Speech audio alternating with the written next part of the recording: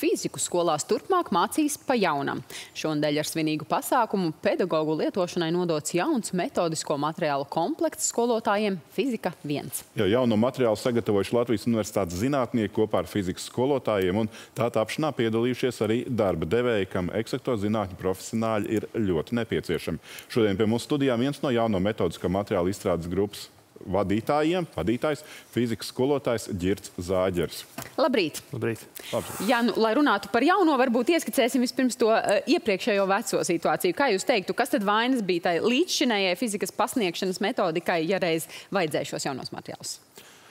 Es domāju, ka atbildi ir mazāk par, par fiziku konkrēti un vispār par uh, mācību pieeju kā tādu. Uh, ja līdz šim mēs vairāk uzskatījām, ka galvenais ir iemācīties konkrētas tēmas vai teorijas fizikas gadījumā, tad tagad mēs esam paplašinājuši skatu un domājam par to, ko skolēns māca izdarīt, kādas viņam ir prasmes. Un tas prasa arī pārstrādāt to, ka, ko mēs mācām, kā mēs mācām, kā mēs vērtējam. Līdz ar to arī tā jaunā sistēma parādījās. Ja kas tad konkrēti mainīsies skolotājiem un kas mainīsies no skolēna skatu punktu? Skolotājiem un skolēniem jau daudz kas ir nomainījies. Um, galvenokārt uh, sāks no beigu gala. Ja tā var izteikties, kur ir eksāmens, kas ir mainījies, kurā vērtē citas lietas, kurās vērtē šīs prasmes. Attiecīgi, skolotājiem ir jāmaina tas, ko viņi klasē stāsta, un skolēniem, protams, ir jāmācās tas, ko skolotājs māca.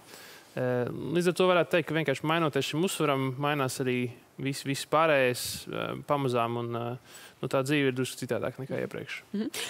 Ja mēs runājam par šiem materiāliem, kuriem vecumiem, kurām klasēm tie ir izstrādāti, vai tas ir jau tāds pilns komplekts, vai tur kaut ko vēl plānots likt klāt, nezinu, arī priekš studentiem varbūt, jā, cik plaša ir tā pielietojamība šobrīd?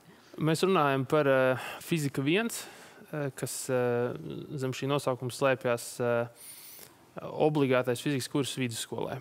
Uh, tad mēs runājam principā par 10. un 11. klasi uh, vidusskolēniem. Uh, Eh, tur ir viss, viss komplekss, kas vajadzīgs šim kursam. Eh, bet nu, vēl ir, protams, pamatskola, vēl ir padziļinātais kurs un universitāte un tā. Tad eh, pašlaik tur nē, bet šobrīd ir tieši obligātajai daļai. Saprotu, ka šīs metodikas izstrādes vismaz sākuma posmā savā ziņā piedalījās arī darba devēji, konkrēti Latvijas elektrotehnikas un elektrotehnikas rūpniecības nozars asociācija, kas jau šķiet gadiem ir cēluši trauksmi par to, ka eksakto zinātņu profesionāļu Latvijā trūkst un, un, un viņiem nav ko pieņemt darbā, trūkst profesionāļu. Vai šī te jaunā kārtība varētu veicināt skolēnu interesi par fiziku, jo arī līdz šim ir bijis tā, ka nu, centralizēto eksāmenu fizikā līdz šim kārtoja ar vien mazāk skolēnu, vai šis materiāls, šī jauna jauna, jaunais skats, jaunā metodika to varētu mainīt? Vai fizika kļūst pievilcīgāka? Fizika nemainās eh, no tā, ka ir eh, jauna pieeja, varbūt vai jauni materiāli. Eh, es domāju, ka tas skatījums ir drusku citādāks.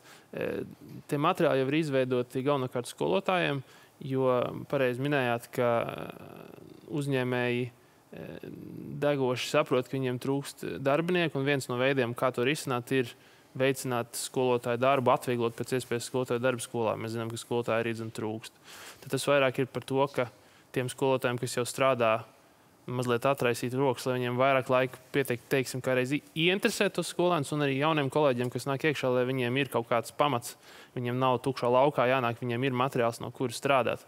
Un tad, ja ir šī iespēja, tad arī paliek laiks eh, visādām citām lietām, tā skaitā bērnu ieinteresēšanai. Eh, kopumā es domāju, ka jaunā metodika neko nav sliktāka par iepriekšējo, bet interesi radīt tas prasa diezgan daudz iekšējās enerģijas no skolotājiem. To var darīt tikai tad, ja jau pamats ir ielikts. Mhm. Kā jūs teiktu, jā, no pieredzes tie, tīri, kas tad ir tas, kas palīdz skolotājam ieinteresēt bērnus par, par šo priekšmetu? Nu, droši vien ir cilvēki, kuri nekad to neizvēlēsies par savu prioritāti, bet no tā lauciņa, kuriem ir potenciāls, nu, kas varbūt tiešām varētu to apgūt tādā līmenī, lai pēc tam gribētu arī kaut kādu kādu nākotnes profesiju ar to saistīt. Kas ir jāizdara pedagogam, lai tiešām maksimumu paņemtu? Es domāju, tur ir divas tādas lietas.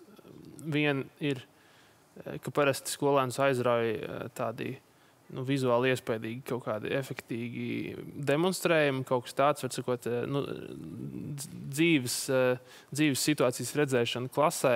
Eh, nu, tas nav arī pazudis tagad, var sakot, eksperimentu un demonstrējumi ir, ir zinām, atslēga, lai parādītos kaut kāds āķītis, kā skolēnam liekas, ka interesants. Tā notika, tā notika, šī tā bija negaidīta, kā mēs to tagad skaidrosim. Bet tā otra puse ir, kas man šeit ir svarīgāka, kas ir katram patiesībā man šeit pieejama, ne tikai tiem, kuriem ir pēdiņās talants. Ir tāds patīkams intelektuālais klikšķis, kad kaut ko cilvēks saprot. Man liekas, ka jaunā pieeja to varbūt kultivē nedaudz vairāk. Eh, un to var katrs skolotājs liekas, aiznest katram bērnam. Vienkārši tas katram ir citādāk pieejams. Bet eh, man liekas, tā īstā garša ir tajā brīdī, kad kaut kas nav saprasts. Sēdi un funkcionē, un funkcionē, un vienā brīdī atnāk. Aha, tas, jā, tieši tā. Un tajā brīdī, kad mēs to varam redzēt dabā vai uz galda, kādā eksperimentā, tas ir. Es esmu izskaidrojis to, kas notiek šeit, priekšā. Es saprotu, un tā, tā ir tā, nu, tā, tā, tā patīkama garša, kurai, man liekas, dzinās arī jebkurš zinātnieks.